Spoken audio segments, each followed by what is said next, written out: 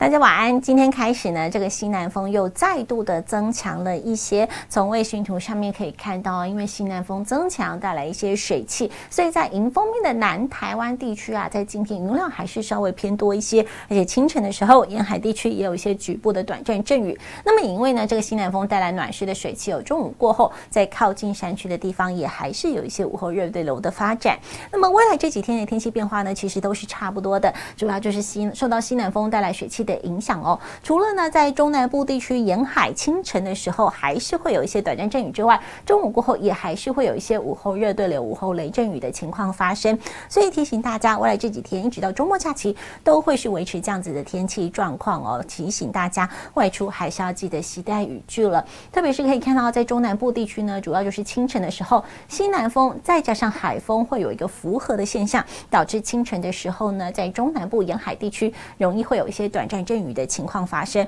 那么呢，在清晨早上这段时间又刚好是上班上学的时间点，所以提醒大家哦，天雨路滑，大家交通通勤要多加小心。那么中午过后呢，在靠近山区的地方也会有一些午后日的有发展起来，也是提醒大家前往山区呢，如果遇到雷阵雨的情况，要赶快进入室内，会比较安全了。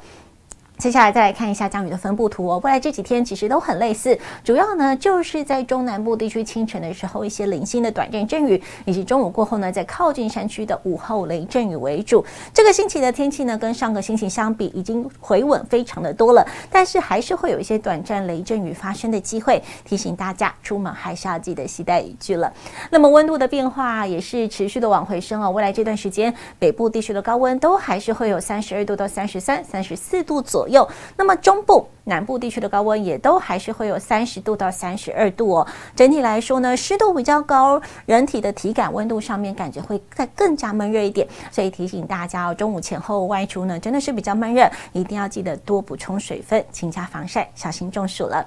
接下来再来看一下，今天晚上到明天清晨呢，主要就是中南部地区会有一些迎风面的短暂阵雨。那么到了明天白天呢，中午过后，在靠近山区的地方，也都还是会有一些午后雷阵雨发。展起来，所以整体来说呢，在未来这几天的天气，其实每天都很类似，主要就是受到西南风带来水汽的影响。中南部清晨沿海地区会有一些局部迎风面的降雨，那么中午过后呢，靠近山区的地方也会有一些午后雷阵雨发展起来，而且啊，中午前后是比较高温闷热的，湿度很高哦，体感温度会感觉更热，也提醒大家外出务必要记得多补充水分，小心中暑。